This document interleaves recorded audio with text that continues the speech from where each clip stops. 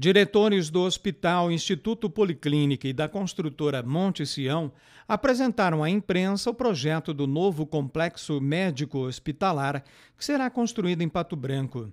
A obra será feita neste terreno cedido pela Policlínica, com acesso pela Avenida Brasil ao lado da atual estrutura do hospital. Ivânio Guerra, diretor da Policlínica, destaca que a instituição hospitalar, que é filantrópica, não investirá recursos na construção. Nós cedemos, porque é um custo muito alto.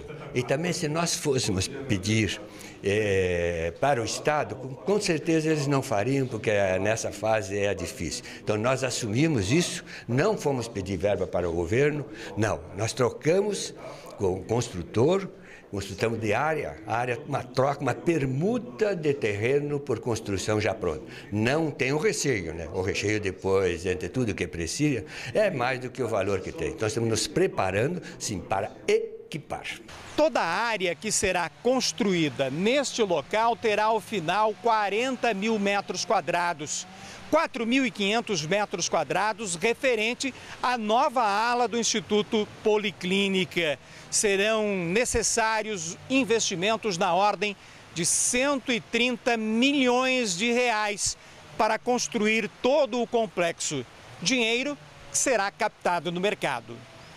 Com o novo complexo, o número de leitos passará de 147 para 175, com a expectativa de ampliar os atendimentos pelo Sistema Único de Saúde. Em 2018, o Hospital Policlínica teve 81,9% de atendimentos via SUS. O projeto já contempla uma futura ampliação, com a possibilidade de aumentar de 28 para 56 leitos. O diretor proprietário da construtora Monte Sião, Edson Alves de Moraes, falou sobre a obra que vai gerar na fase construtiva 250 empregos diretos. É um complexo médico hospitalar, na verdade, entendeu? Que está agregando vários segmentos ali, que é a parte médica, que é que é o fundamental, que é a parte de, de dos lofts para terceira idade, que é a parte das lojas e o estacionamento, entendeu? O estacionamento vai ser composto de uma, vai ser uma empresa. Nós vamos vender cota dessa empresa, a parte de loft também. Então, e as lojas serão comercializadas, entendeu, dessa forma para terceiros.